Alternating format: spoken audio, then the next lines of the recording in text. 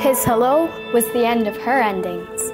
Her laugh was their first step down the aisle. His hand would be hers to hold forever. His forever was as simple as her smile. He said she was what was missing.